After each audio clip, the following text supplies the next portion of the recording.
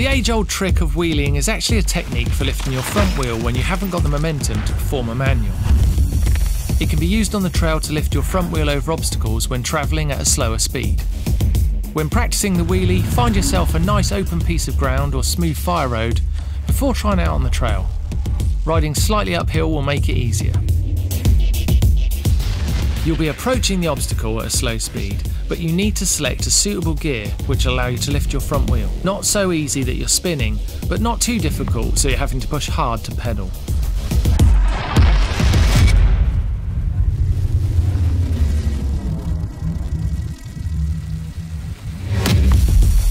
Remain seated with your weight towards the rear of the saddle to lighten the front wheel.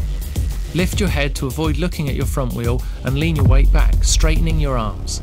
Then as your lead pedal comes round to around 2 o'clock position, apply a powerful pedal stroke. It's the combination of all these things that lifts your front wheel.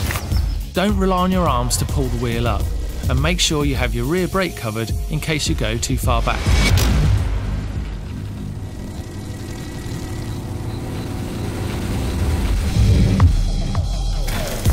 Once you've mastered lifting the front wheel, see if you can find the balance point and manage a few pedal rotations with it elevated. Use your knees and slight movements of the bars to help keep your balance.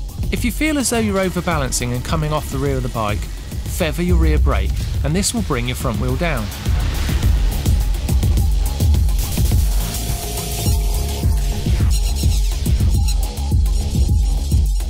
It might take a little bit of practice to learn when and how much to pull the back brake.